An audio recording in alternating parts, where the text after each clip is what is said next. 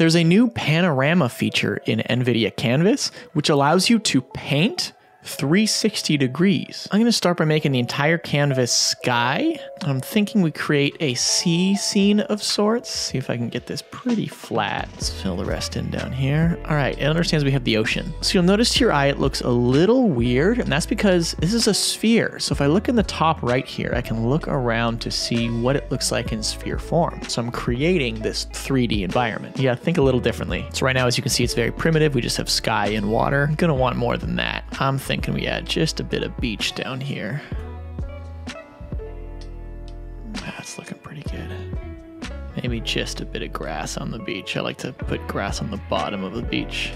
And now if we look down, we've made a tiny little island here. The side's almost underwater. I'm thinking out in the distance, we make some hills. I'm just gonna kind of paint them in bumps like this. I really like what it does to the entire environment. You'll see the lighting changes as well.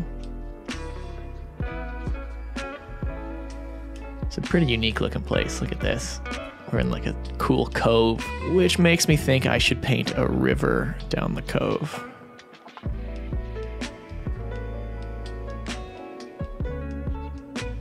Let's make it have an exit, you know? There we go.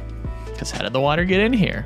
Doesn't make sense. Now it does. Very cool. Let's find that in 3D. Look at that. This is a cool place to hang out. This part that's kind of underwater here. I wonder if I put some stone here, make it kind of a little rocky island beach.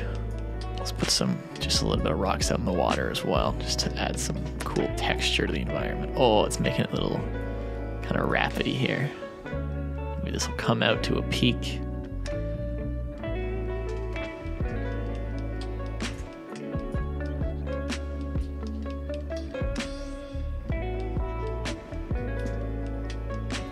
Yeah, when I'm looking around, it's a pretty cool place. Let's get some clouds in the sky. I like putting little clouds here and there. It's kind of cool.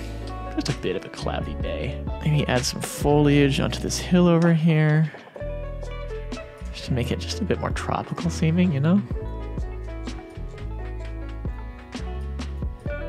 Again, I can look at the 3D view review, see how it looks, and it's looking pretty good. It's pretty cool. So now I want to put this in a video game as the skybox. So check this out. I'm in Unreal Engine 5 right now, and I put it as a skybox, and look, I'm just running around this world. Look at that. We have our canvas texture making up the world. This really does open up a lot of possibilities for game designers, especially indie devs who just want to quickly create something and have it look genuinely unique and great. Look, that was my first canvas painting there too as a bonus.